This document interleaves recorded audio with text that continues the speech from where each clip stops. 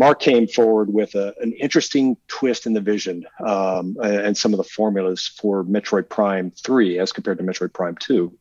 Uh, we wanted to, to a greater degree, leverage the ship um, as a playable uh, asset, for instance. And we we had that to some degree in Prime Three, but Mark was thinking uh, uh, much more ambitiously. Uh, perhaps um, there was also an, an open open world, um, less linear uh, uh, consideration that he was proposing that the team was excited about, and we we weren't able to prototype a lot of those because those were really um, really big. Uh, we did have some some ship prototypes early, but the open world one was was much bigger.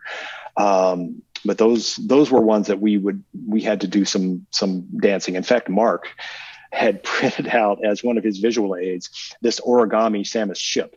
He had taken the the um, the mesh of the Samus ship and used a program that uh, basically unfolded it to uh, into a what what he could then turn into a paper model. So he, we had this cardboard uh, uh, Samus ship that he had colored in, uh, and it looked great. It was, you know, I think we could sell it today.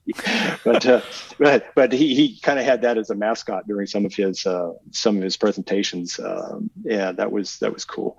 I'm. Um, um, yeah, that that was a that was I think an area where we um, we may have fallen short of our goals with with Prime Three and, and not being able to to expand the formula a bit.